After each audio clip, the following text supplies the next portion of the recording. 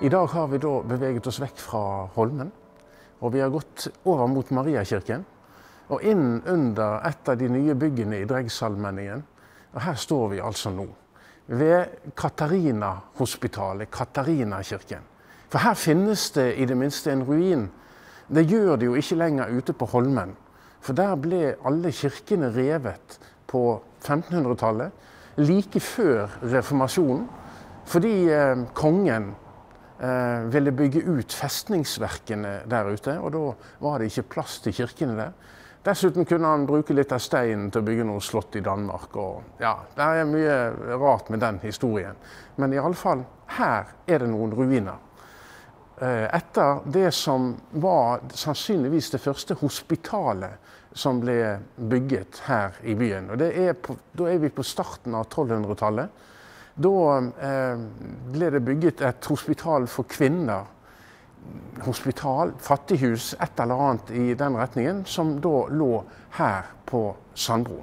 Det var viet til den hellige Katarina, som var en helgen som vi ikke vet om har eksistert, men historiene blir fortalt om en vakker og intelligent og dyktig prinsesse fra Alexandria i Egypt, som da ble tatt livet av fordi hun nektet å Eh, underordne seg den romerske overmakt en gang på 200-300-tallet.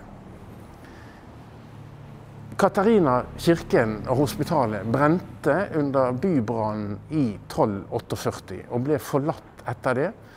Det ble bygget et nytt Katarina-hospital lengre sør i byen senere. Vi kommer kanskje dit på den vandringen etter hvert.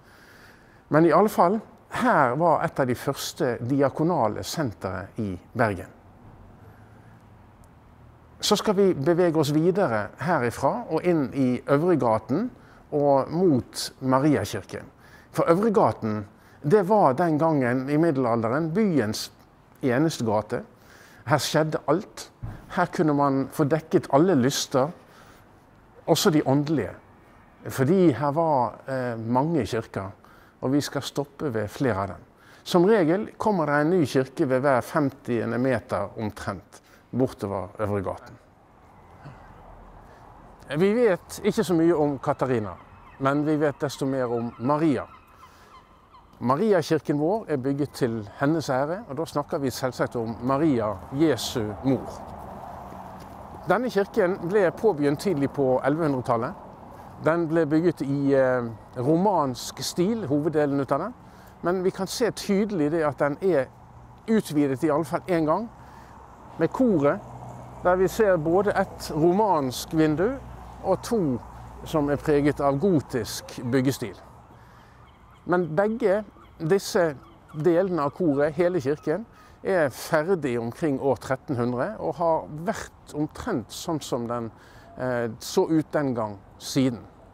Det ene tårnet har vært vekke en periode, men den står nå fortsatt her med sine to tårn. Og med sitt praktfulle interiør. Dette interiøret som eh, er ulikt veldig mange andre kirker i eh, Norge pga. det at den har rik utsmykking, som har da overlevd reformasjon og billedrenskinger og alt sånt som skjedde i kjølvannet ut av den. Sannsynligvis fordi dette var en tysk menighetskirke på den tiden. Den tilhørte den tyske forsamling av hansaer først, og senere tyske kjøpmann, kjøpmenn som bodde her i byen og hadde sitt tilhold på Bryggen. Den var tysk menighetskirke helt frem til ca. 1870, da det var så få tysktalende igjen at den igjen ble en norsk menighetskirke.